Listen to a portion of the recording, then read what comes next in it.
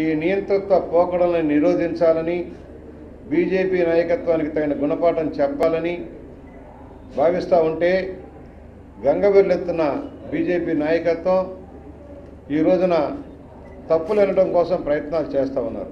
ఆంధ్రప్రదేశ్కు సంబంధించి ఎన్నెన్నో ఆరోపణలు చేస్తూ వస్తూ ఉంది బీజేపీ నాయకత్వం.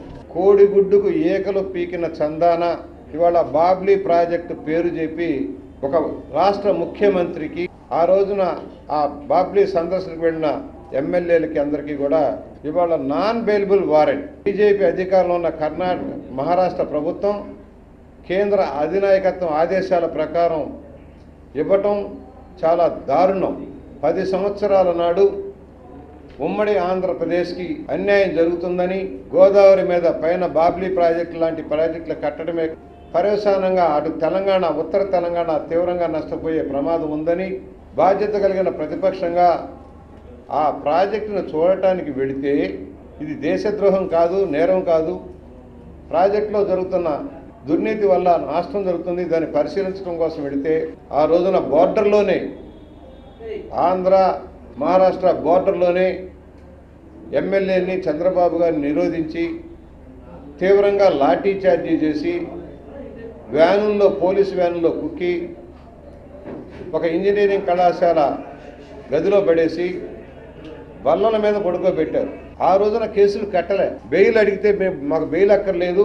మమ్మల్ని అరెస్ట్ చేసే చేసుకోమని ముఖ్యమంత్రిగా ఆ రోజున ప్రతిపక్ష నాయకుడిగా చంద్రబాబు నాయుడు గారు చెప్పారు. ఏ కేసులు లేవు ఏమీ లేవని చెప్పి ఆ రోజున ప్రత్యేక విమానాల్లో హైదరాబాద్ తరలించిన చరిత్ర ఒకసారి గుర్తు చేసుకోవాలి. పదో సంవత్సరంలో జరిగిన సంఘటనకి ఈ రోజున నాన్ బెయిల్బెల్ వారెంట్ ఇస్తూ ఉన్నారు.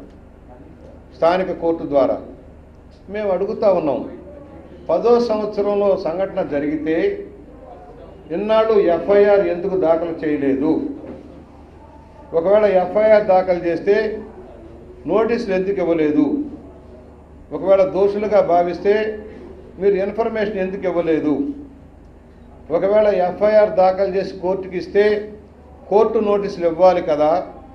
కోర్టు నోటీసులు ఇచ్చిన తర్వాత అటెండ్ కాకపోతే కదా మీరు బెయిలబుల్ వారెంట్ ఇవ్వాల్సింది. కానీ మీరు ఇవాళ నాన్ బెయిల్ వారెంట్ ఒక రాష్ట్ర ముఖ్యమంత్రికి ఒక నాన్ బెయిలబుల్ వారెంట్ ఇచ్చారంటే బీజేపీ మోడీ గారి పతనం మొదలైందనే లెక్క. ఏమీ చెయ్యలేక ఏమీ పట్టుకోలేక ఈ విధంగా ఒక బెదిరింపులకు దిగుతా ఉన్నారు.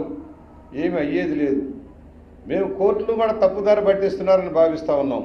తప్పని చెబుతున్నా కానీ భయపడే పరిస్థితి లేదయ్యా. వాట్ విను వినండి. ఈ కేసు ఎంత? అసలు ఇది కేసా? వినండి ఇది కేసా? మోడీ వక్ర భాషానికి ఇది ఒక నిదర్శనం. బీజేపీ తుండ్రతనానికి ఇది ఒక నిదర్శనం. ఈ తుండ్రతనంతో ఏమీ చేయలేరు. ఒక రాష్ట్రం తన ప్రాజెక్టు నష్టం కలుగుతున్న ఎగువ భాగంలో పైగా దగ్గరగా కడుతున్న ప్రాజెక్టును చూడటానికి వెళ్తే నేరం అయితే ఇక ఈ దేశం ఇంకా ముక్కలు చెక్కలు అవుతుంది అదే నేరం అయితే భయపడాల్సిన పనిలే. తప్పు చేస్తే భయపడాలి. కానీ మీరు చేసేది తప్పని చెప్పడంలో మనం వెనకాడటానికి వీల్లేదు. అసలు ఆ కేసు భయపడి తీసేస్తారు కూడా. దేశంలో ఇది ఒక ఇష్యూ.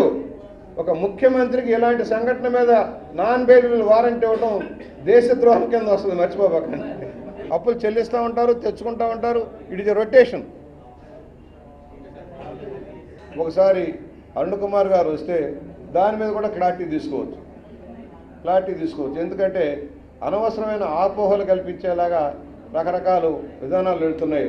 మొన్నగారు కల్పన జరిగిందో ఎన్ని ఎంత డబ్బు పెట్టుబడిగా వచ్చిందో చెప్పడం జరుగుతోంది.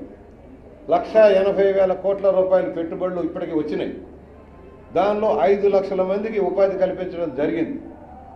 మన క్లారిటీ ఉండి చెవులుండి వినలేక కనులుండి కనలేకపోతే ఎవరు మేము చేయలేము ఇవాళ ఉన్న దాంట్లో పారిశ్రామికీకరణ జరుగుతుంది వికేంద్రీకరణ జరుగుతూ ఉంది. మన జిల్లాలో లేదు కానీ భూమికి భూమి సరైన అనువుగా లేనందువల్ల దొరికే పరిస్థితి లేదు. రాయలసీమలో ఎక్కువగా ఉద్యోగ అవకాశాలు వస్తున్నాయి.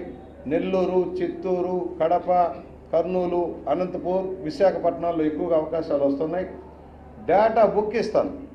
అరుణ్ కుమార్ గారికి ఈ వారంలోనే ఎక్కడెక్కడ ఏ ఏ పరిశ్రమలో అవగాహన అయింది ఏది పెట్టుబడి పెట్టారు ఎంతమందికి వచ్చినాయి ఎన్ని ఇంకా గ్రౌండ్లో ఉన్నాయి భూములు ఎవరికి కేటాయింపు చేశారు ఏ ఏ సంస్థకు కేటాయింపు చేశారో బుక్లెట్టే నేను అన్నకుమార్ కుమార్ గారికి ఒక త్రీ డేస్లో పంపిస్తాను. నిన్న నేను తేటం పొరపాటున వదిలేసి వచ్చాను. ఆ బుక్లెట్ కూడా అరుణ్ కుమార్ గారికి పంపిస్తాను.